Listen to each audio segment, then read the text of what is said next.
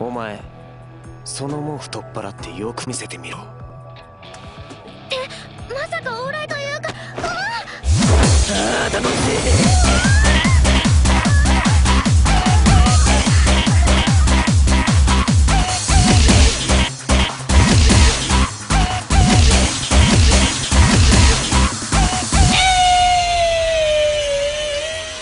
確かに俺はあの日脳にダメージを今じゃユザも外部に任せてるだがな俺が弱くなったところで別にお前が。強くなったわけじゃねえだろうが。よ。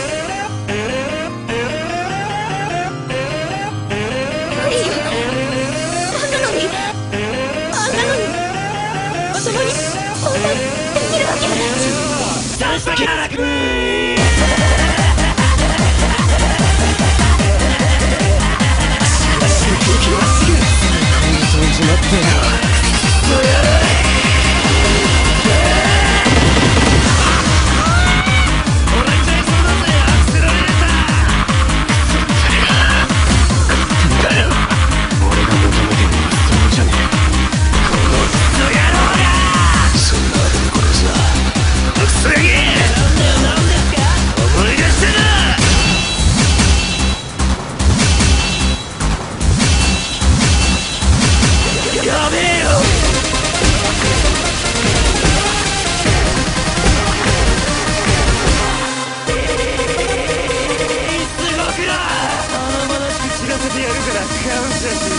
華々し